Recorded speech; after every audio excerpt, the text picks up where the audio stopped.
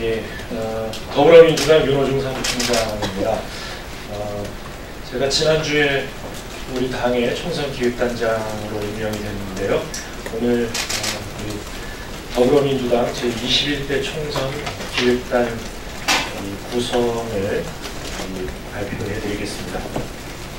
모두 열, 저를 포함해서 15명의 어, 위원으로 구성이 되고요. 어, 그 위원을 한 분 한 분 말씀드리겠습니다. 어, 위원, 아, 예, 위원 말씀드리기 전에 그 우선 위원 구성하는 데 있어서 이제 지금까지 기획단에 쭉 참여를 해왔던 어, 주요 당직자들이 포함됩니다. 어, 민주연구원장, 정책위 수석부의장, 전략기획위원장, 조직부총장, 어, 전국 여성위원장, 전국青年위원장 거의 당연직 처럼 이렇게 그, 들어가 있고요.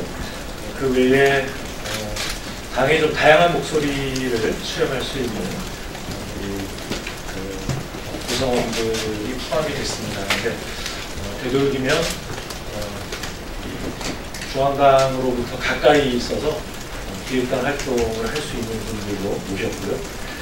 그 다음에 이제 어, 여성 비율을 33% 15명 중에 5명을 여성으로 구성을 했고 청년은 4명 27%입니다. 이걸 구성을 했습니다. 청년 중에서도 어, 그 30대가 2명, 20대 1명까지 20, 30대 청년들의 의견을 충분히 수렴할 수 있는 그런 인성을 했다는 말씀을 드립니다. 예, 우선 결과를 말씀드리면 어, 총선기획단 위원으로 어, 양정철 민주연구원장, 윤관석 정책위 수석부의장, 이근영 전략기획위원장, 소병훈 조직부총장, 백혜련 전국여성위원장, 장경태 전국청년위원장 원회입니다. 예, 금태섭 예, 장경태 위원장은 36세입니다. 어, 금태섭 국회의원, 강훈식 국회의원, 재윤경 국회의원, 정은혜 국회의원, 정은혜 국회의원도 36세입니다. 정청래 전 국회의원, 김은주 한국여성정치연구소 소장, 강선우 전 사우스다코타 주립대 교수, 40세로 청년 이가 여성입니다.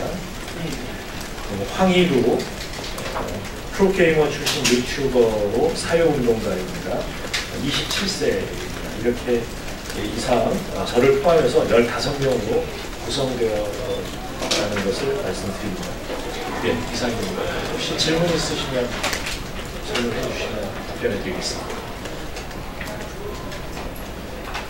앞에서? 네. 네, 감사합니다.